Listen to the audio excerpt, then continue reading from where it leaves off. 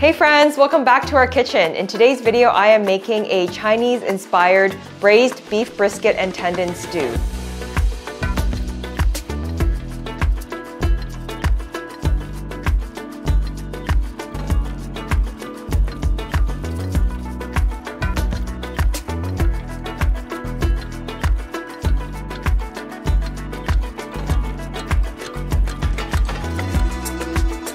This is a traditional Hong Kong style dish that I personally grew up eating all the time. They also serve it at dim sum. The traditional recipe does contain flour, cornstarch, uh, sugars, soy sauce, and all those sorts of things. But in today's video, I am making my keto slash ketovore version of this recipe. If you are loose carnivore, this recipe will also work for you as well. I am using coconut aminos today, which is a soy sauce substitute. Now this brand here, we get this at Whole Foods. You can pretty much get this at any grocery store as well as on Amazon. But this is made out of coconut nectar, water, apple cider vinegar, and sea salt. And another brand that we happened to stumble upon recently at Whole Foods is this one called Naked and Saucy. We haven't tried this one before, but we are looking forward to doing some testing. The ingredients in this one is reduced sugar, fermented coconut sap, and unrefined sea salt. I did recently see this brand at Costco, so I think they are growing quite a bit, but I am looking forward to testing this one out and uh, maybe coming up with some recipes in the future for it. The other ingredient I'm using today is red boat fish sauce. If you watch any of my other Asian inspired recipes, you'll know that uh, I'm a big fan of red boat fish sauce. It is a pure fish sauce that doesn't contain any sugar, so it's just anchovy and sea salt.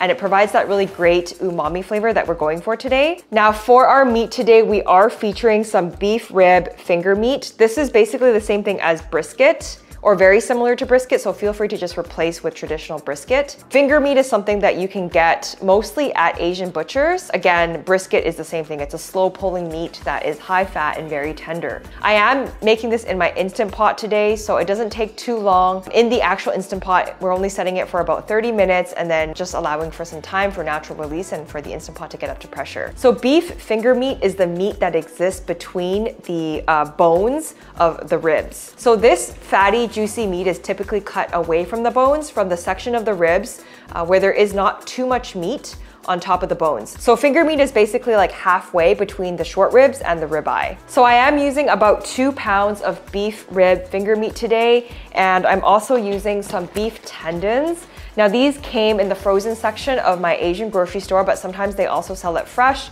I just let it thaw in the fridge overnight. Um, this is about one pound here. So beef tendons are a collagen-rich protein that have a ton of nutritional benefits to them. Now, if you're doing the carnivore diet, tendons are very lean. They're basically pure protein with very little to no fat. So what you have to do is you have to pair it with something fattier like brisket or this beef rib finger meat, which is basically the same thing. And then that way it balances out and gives you that satiety, that good fat to protein ratio that we're trying to go for. Tendon is incredibly nutritious and contains calcium, phosphorus, iron, as well as vitamin B1 and B2. Before we get into it, don't forget to hit the thumbs up button and subscribe to our channel. It really allows us to spread our message and help as many people as possible. So let's get right into it. So the first step is actually to boil your meat. So this is a step that's used in all Chinese style, Cantonese style cooking. This is just a tip that I learned from my mom and my grandma growing up. We always boiled our meat before making any sort of dish and it's just a staple part of Chinese cooking.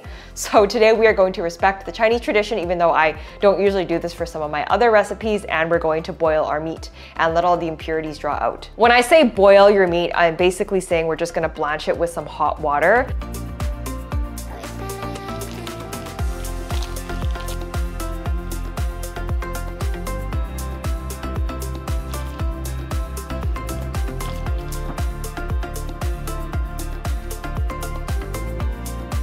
So the first thing I'm gonna do is just cut this into bite-sized pieces about one inch uh, thick, one inch long. Now they will shrink down a little bit in the Instant Pot, so just keep that in mind. Something like this is a good size, just little one inch cubes. If you're looking for detailed recipe instructions, check out our blog at justrealfood.com. Next is beef tendon. You can see here, this is what it looks like. It's like a clear white tendon. now this has already been chopped out of the package, so I don't really need to chop it too much more. Just requires a little bit of elbow grease.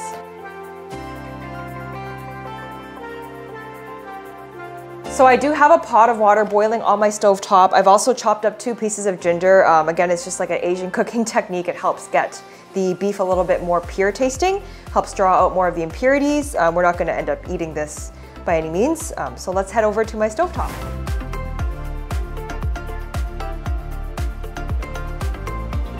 So it's been about three to four minutes. As you can see here, some of the impurities are starting to draw out of the meat.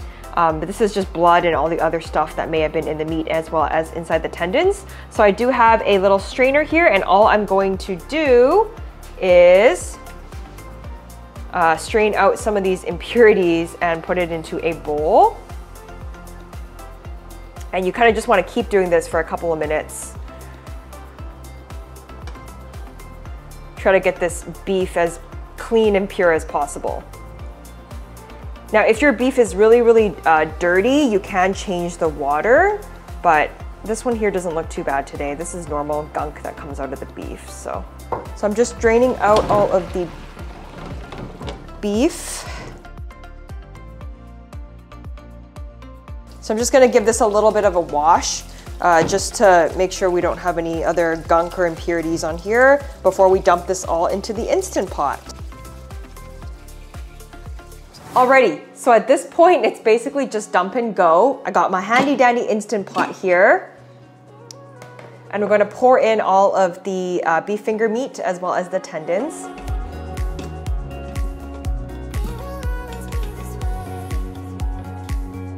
Now I have equal parts of coconut aminos to the red boat fish sauce. So I'm just gonna pour those right in. I have some Chinese five spice powder. You can get this on Amazon. It's basically just a blend of Chinese herbs and it kind of gives it that flavor that we're going for. And I also, as the braising liquid today, have some beef stock. So you just need enough beef stock basically to cover the bottom of the pot. You can also use water, but I find that the beef stock will uh, just provide a little bit more depth of flavor, if you will. But I am just gonna give this a bit of a mix with a spoon, just to make sure all of the spices and the coconut aminos is well incorporated.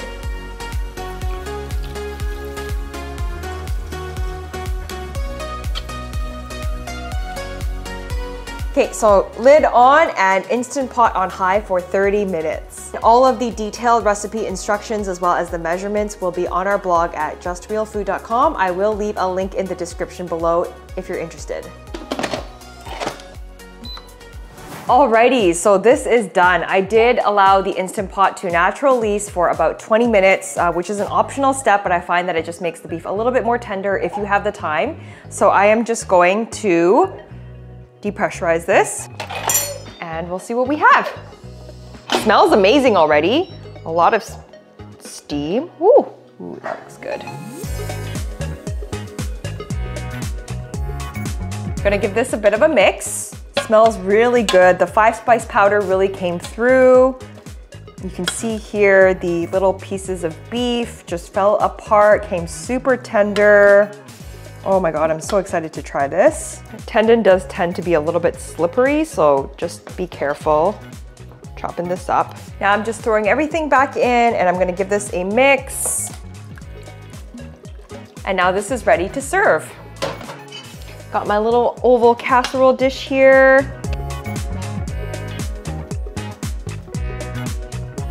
Alrighty, it's taste test time.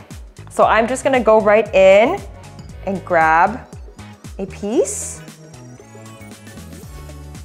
Smells amazing. I love the smell of five spice powder because it reminds me of my childhood. It reminds me of the dishes that I grew up eating. And again, it's a keto ketovore friendly dish that uh, doesn't have any of the sugar or the soy and some of the other ingredients we're trying to avoid. Another option is actually to add daikon to this dish if you want, which is basically just a Chinese radish that this dish is traditionally served with if you lean more keto, ketovore. If you add daikon, nothing really changes. All you have to do is add a little bit more liquid. The cooking time time should generally be about the same. So let's dig right in.